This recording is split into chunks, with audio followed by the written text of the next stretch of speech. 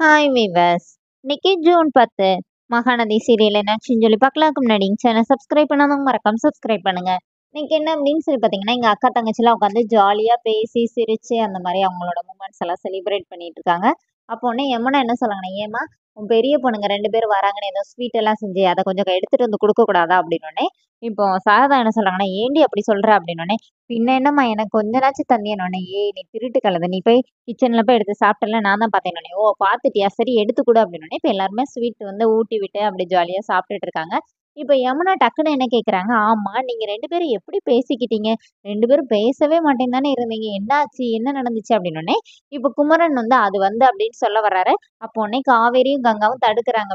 அவங்க ரெண்டு பேரும் தடுத்துட்டு இல்லை நாங்கள் பார்த்தோம் பேசணும்னு தோணுச்சு பேசிட்டோம் அப்படின்னோடனே இல்லையே இது நம்புற மாதிரி இல்லையே. குமரன் மாமா நீங்க ஏதோ சொல்ல வந்தீங்களா? அதை சொல்லுங்க அப்படின்னு இப்ப குமரன் வந்து நடந்த எல்லா விஷயத்தையும் சொல்லிடுறாரு. இந்த மாதிரி காசு தொலைச்சது எல்லாமே. அப்ப யமுனா என்ன சொல்றாங்கன்னா என்ன மாமா இவ்வளவு அசால்ட்டா சொல்றீங்க? ஒரு ரூபா ரெண்டு ரூபா முப்பது லட்ச ரூபா அப்படின்னு இப்ப சாரதா வர ஃபீல் பண்றாங்க. இந்த மாதிரி என் புருஷன் கஷ்டப்பட்டு உழைச்ச காசு ஏன் என் கையை விட்டு போயிருச்சுன்னே தெரியலையே அப்படின்னு.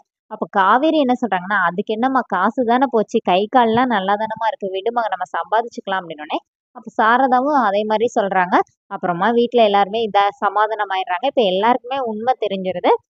நம்ம சாரதா சொல்கிறாங்க பாத்தியா அவன் எப்போவுமே சுயநலமாக இருக்க மாட்டான்னு தான் நான் அவன் மேலே நம்பிக்கை வச்சுருந்தேன். அதே மாதிரி அவன் நடந்திருக்காள் அப்படின்னு சொல்லி இவங்க இங்கே பேசிகிட்டு இருக்காங்க.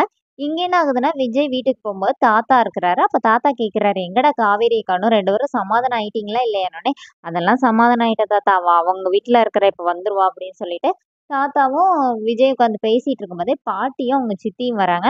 வந்தோடனே சித்தி மட்டும் ஒரு மாதிரியாவே நிற்கிறாங்க ஏன் சித்தி நீங்கள் அமைதியாகவே நிக்கிறீங்கன்னொடனே இப்போ தாத்தா என்ன சொல்கிறாருன்னா அவங்க கல்யாணம் முடிச்சுட்டு வந்தாங்களா? அதுக்கு நீ எதனாச்சும் சொல்லுவியோன்னு யோசிச்சுட்டே இருக்கிறானோடனே இல்லை நான் வந்து சித்தப்பா இந்த மாதிரி கொடைக்கானல்ல பார்த்தேன். அவர் அங்கேயே ரொம்ப ஓவரா தான் பேசிட்டு போனார் அப்படிங்கிற மாதிரி விஜய் சொன்னோடனே இப்ப விஜய் தாத்தாவும் காவேரிக்காக வெயிட் பண்ணிட்டு இருக்காங்க. அப்ப காவேரி வந்துடுறாங்க.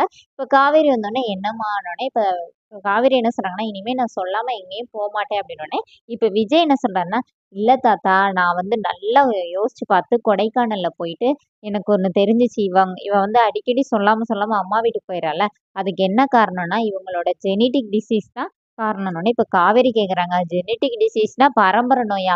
ஏன் அப்படி சொல்கிறீங்க அப்படின்னோடனே இவங்க அத்தை ஒருத்தங்க இருக்காங்க. நல்லா ஜாலியாக வந்து ஃபன் பண்ணி பேசிட்டு இருந்தாங்க. திடீர்னு பார்த்தா சொல்லாமே ஓடிட்டாங்க. எஸ்கேப் ஆயிட்டாங்க. அந்த அதுதான் இவளுக்குனோடனே இப்போ தாத்தாவும் சேர்ந்துக்கிறாரு. இப்போ உடனே காவேரி முறைக்கிறாங்க. சரி சரி விடுங்க விடுங்க போய் தூங்குங்கன்னு சொல்லி ரெண்டு பேரையும் அனுப்பி விட்றாரு இங்கே அவங்க சித்தி வந்து அவங்க சித்தப்பாட்ட பேசிட்டு இருக்காங்க அவர் வந்து என்ன சொல்றாருன்னா எனக்கு இங்கே எஸ்டேட் இருக்குது அது இருக்குதுன்னு சொல்லிட்டு அவங்க சித்திட்ட சொல்லும்போது அவங்க சித்தி என்ன சொல்றாங்கன்னா இப்போதைக்கு நீங்க எப்படினாலும் இந்த வீட்டில் தானே வந்து இருக்கணும் அப்படிங்கிற மாதிரி ஃபோனில் பேசிட்டு இருக்காங்க அப்போ விஜய் கிராஸ் ஆகும்போது என்ன சித்தி? சித்தப்பாவானோடனே ஆமான்னு சொல்லிட்டு அவங்க ஃபோனை கட் பண்ணிடுறாங்க. நீங்க வந்து என்னை தப்பா நினைச்சுக்காதீங்க. அவங்க பேசினதுக்கு நான் இவ்வளவு நாளும் உங்களுக்காண்டி தான் பொறுத்து போயிட்டே இருந்தேன். இதுக்கு மேல நான் எந்த முடிவு எடுத்தாலும் நீங்க என் மேலே என்ன தப்பா நினைச்சுக்க சொல்லிட்டு விஜய் போயிடுறாரு. இவன் இப்படி சொல்றான் அவர் அப்படி சொல்றாரு என்ன செய்யறதுனே தெரியலையேன்னு அவங்க யோசிச்சுட்டு இருக்காங்க. அதோட என்னோட எபிசோட் ரன் பண்ணிட்டாங்க. நாளைக்கு என்ன அப்படின்னா நாளைக்கு தான் ப்ரொமோஷன் பசுபதி வந்தோடனே காவேரியை வந்து ஒரு மாதிரி டீஸ் பண்ணுறாரு அப்போ சாரதா வந்து அருவாள் எடுத்துகிட்டு வந்து என் பொண்ணு கேட்கறதுக்கு யாரும் இல்லை நினச்சேனோடனே குமரன் அடிக்க போகிறாரு அதோடனே அந்த ப்ரொமோ என் பண்ணியிருக்காங்க. தேங்க்யூ